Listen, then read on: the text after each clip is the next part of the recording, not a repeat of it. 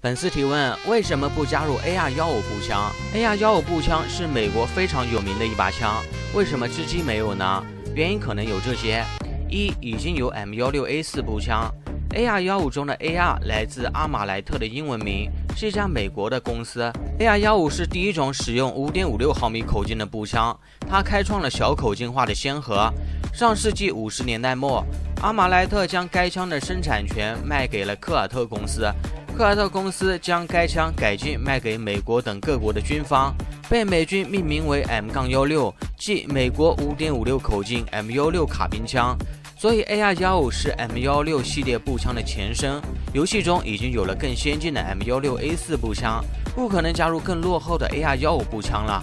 二没有特点，AR-15 虽然是 M16 步枪的前身，但如果有特点的话，也是可能上线的。毕竟名字确实和 M 幺六步枪不同，但是它没有特点。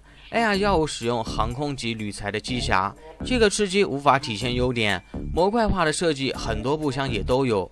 小口径、精准、高弹速，这个特点和 M 幺六 A 四基本一样，所以上线的话也是弱化版的 M 幺六 A 四，真的没有必要。